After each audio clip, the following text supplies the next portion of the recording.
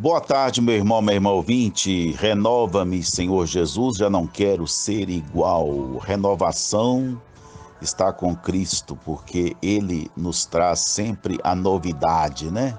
O Evangelho é renovação, boa nova, novidade. E só tem sentido diante da renovação da vida. Né? Então, em Jesus, nós encontramos sempre a purificação. E é nisso que nós vamos falar hoje, refletir e acolhendo a todos vocês em nome do Pai, do Filho e do Espírito Santo. A graça de nosso Senhor Jesus Cristo, o amor do Pai, a comunhão do Espírito Santo estejam com todos vocês.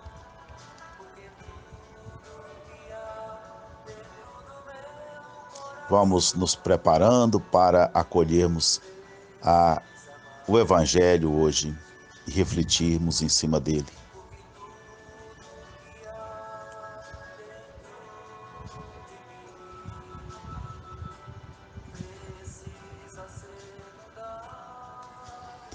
Nesse dia 8 de janeiro, sexta-feira, vamos ao Evangelho. O Senhor esteja convosco. Proclamação do Evangelho de Jesus Cristo segundo São Lucas. Lucas 5, versículos 12 a 16. Aconteceu que Jesus estava numa cidade e havia aí um homem leproso. Vendo Jesus, o homem caiu a seus pés e pediu: Senhor, se queres, tu tens o poder de me purificar. Jesus estendeu a mão, tocou nele e disse: Eu quero, fica purificado. E imediatamente a lepra o deixou. E Jesus recomendou-lhe: Não digas nada a ninguém. Vai mostrar-te ao sacerdote e oferece pela purificação o prescrito por Moisés como prova de tua cura. Não obstante, sua fama ia crescendo e numerosas multidões acorriam para ouvi-lo e serem curadas de suas enfermidades. Ele, porém, se retirava para lugares solitários e se entregava à oração. Palavra da salvação. Olha, meu irmão, minha irmã, tem muita coisa aqui que a gente poderia é, refletir, muito ponto interessante, né? É, primeiro aqui é Jesus sendo interpelado por esse homem, por esse leproso. Esse leproso sabia muito bem o lugar dele, o lugar social que ele ocupava na época. Os leprosos não podiam se aproximar das outras pessoas consideradas limpas. O leproso tinha que se afastar da cidade, morar fora da cidade. E se porventura tivesse que entrar na cidade, ele tinha que sair gritando, ele tinha que vestir roupa suja, atrapalhar os cabelos para ser, eh, para serem bens é, bem é, identificados e saírem gritando, impuro, impuro, né? Para as pessoas se afastarem. Agora, você imagina que coisa, hein? Coisa humilhante. Alguém se considerar, a, não só se considerar, mas aceitar viver nesse lugar social. Ele mesmo se confirma como impuro. Ele não quer que as pessoas se aproximem dele, porque elas não podem afastar, é, aproximar, porque a lei judaica, a lei religiosa, a lei da pureza e da impureza tinha suas normas, proibia. Ele era proibido de circular no meio das pessoas. Humilhação muito grande. Então, esse leproso sabia do lugar, o seu lugar social. Não é? No entanto, olha aí que coisa bonita. No entanto, ele não se conformava com aquele lugar. Esse que é interessante. Ele não tinha amparo nas leis, na lei religiosa judaica, não tinha amparo na religião judaica, mas ele tinha o amparo em Jesus. Lindo isso. Muitas vezes as pessoas confundem as duas coisas. Se as religiões não querem, se a religião fulano não quer, então é Jesus que não quer. Se a autoridade religiosa fulano de tal não quer, então é Jesus que não quer. Como se ele fosse submisso a um contexto legalista, humano, institucionalista. Institucional. Não aquele homem buscou em Jesus despertou a sua confiança em Jesus. Deixou a lei para lá. A lei ele já sabia que discriminava-o. Mas ele não, não deixou, abandonou a lei e foi direto a Jesus. Jesus poderia dizer para ele: Não, eu não posso. E ele então diz para Jesus: se queres, tens o poder de me purificar. Jesus poderia ter dito para ele: Não, eu não quero, eu não posso. Eu tenho que ser fiel à lei religiosa. Não. Jesus não deu a mínima importância para o que a lei religiosa prescrevia. Ele simplesmente teve a liberdade, que é a liberdade de Deus, de tocar naquela pessoa. Ele foi desobediente. Preste atenção nisso. Ele foi desobediente à sua religião. Ele tocou, ele fez um ato que não podia ter feito tocar num leproso. Porque se ele, se alguém tocasse num leproso, se tornava impuro também. E Jesus tocou para transmitir pureza e não para ficar impuro. É o contrário. Então ele toca no leproso e o leproso imediatamente fica curado. Agora veja uma outra coisa muito interessante.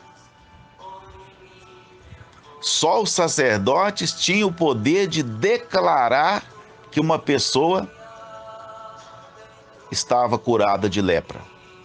E naquela época, tudo não era só a doença em si, não. Tudo aquilo que era doença de pele, qualquer coisa assim, era considerada lepra. De tanto medo que as pessoas tinham da lepra, que tudo aquilo, a, a medicina não era avançada, né? Para fazer um diagnóstico e tudo. Então, vamos cortar o mal pela raiz tudo aquilo que tiver, que for mancha de pele, que for é, alguma coisa, ferida que saiu sem explicação, papapá, papapá, né? Ou mesmo uma coceira, uma sarna, qualquer coisa que fosse, para eles já era logo considerado lepra. Já tinha que se afastar, né? Já que nós não sabemos o que, então vamos afastar.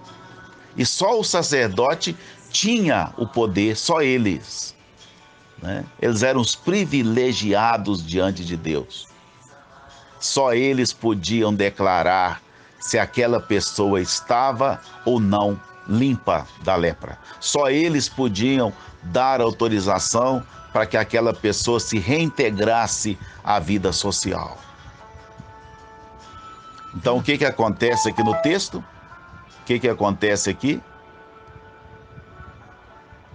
O, o, o, o homem, o leproso, ficou curado Jesus o declarou curado antes, sem passar pela lei. Antes não, sem passar pela lei. Não precisou da lei. Não precisou dos sacerdotes. Porque o próprio Jesus tinha autoridade para limpar e declarar que aquela pessoa estava limpa, estava purificada né, estava curada. E, e por que, que Jesus fez isso? Hein? Por que que Jesus não deu importância àquele artigo da lei, aquele ponto da lei que impedia as pessoas de tocarem no leproso? Por quê? Porque para ele o mais importante era aliviar a pessoa. O mais importante para ele era o amor à pessoa. O mais importante para ele é que aquela pessoa voltasse a ter dignidade. Ele não estava preocupado com aquilo que a lei estava dizendo. Ele queria que aquela pessoa recobrasse a sua felicidade, não é? Ele não tinha que ser obediente. Às vezes, quantas vezes a gente também passa por isso, hein? Tem hora que a gente fica assim, entre, duas, entre a cruz e a espada. Ou seja, eu falo isso porque eu tenho que falar, porque convém que eu fale, e eu oriento dessa forma, porque convém que eu oriente, porque eu tenho que ser fiel às leis, às normas que me são exigidas, ou diante do meu irmão, diante do olhar dele, do sofrimento dele, o que importa para mim é a vida dele e não o que eu devo ou não falar por conveniência. Não. Para Jesus, e eu acredito que para todos aqueles que agem em nome de Jesus, deve ser assim. Viu? A vida, o amor, a vida, a libertação da pessoa, o bem da pessoa está acima de qualquer lei, que a lei maior é a lei da vida, não é? E terminando, é, diz aqui, eu tenho que terminar porque a minha bateria aqui já deu sinal aqui de, de me deixar na mão. E diz que as multidões foram todas atrás de Jesus, né, para que ele curasse também, e ele se retirou daquelas multidões. Muito interessante, viu, gente?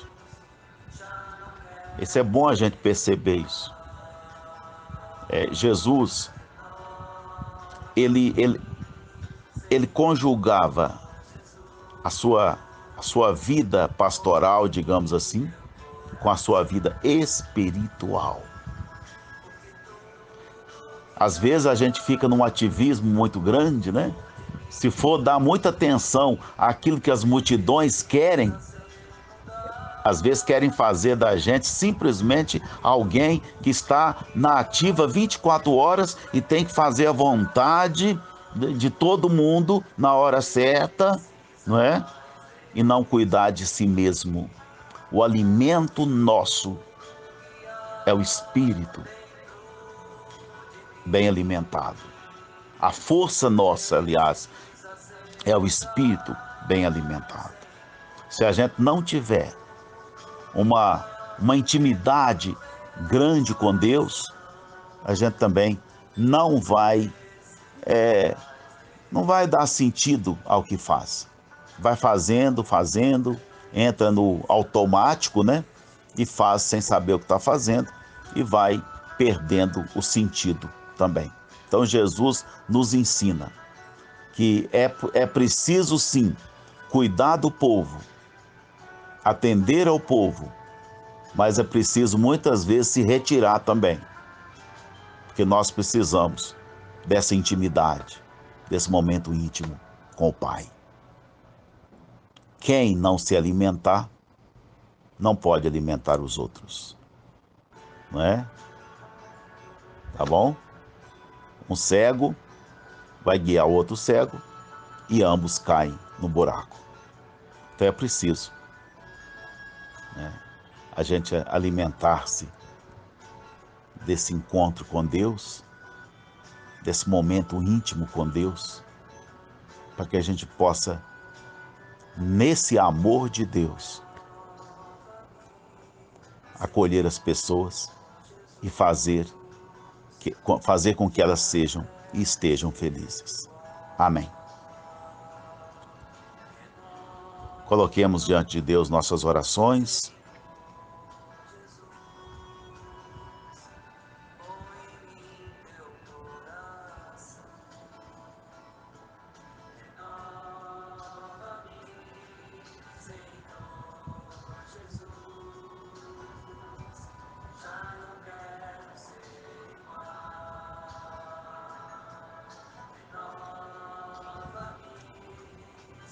Quero colocar hoje a família do, do Miguel, que foi sepultado hoje. Miguel, lá da nossa paróquia, da família Chaim.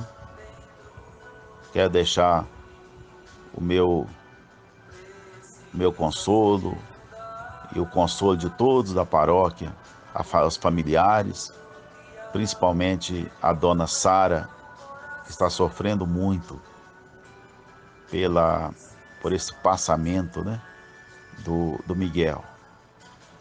Que o Senhor possa tocar nessas pessoas, que elas se aliviem de todo esse peso, que com certeza não é peso, é apenas um, um tropeçozinho, um não é nem tropeço, tropeço é outra coisa, mas é um, um baque, né? Um baquezinho que a gente vai sofrendo ao longo da viagem, mas a viagem continua.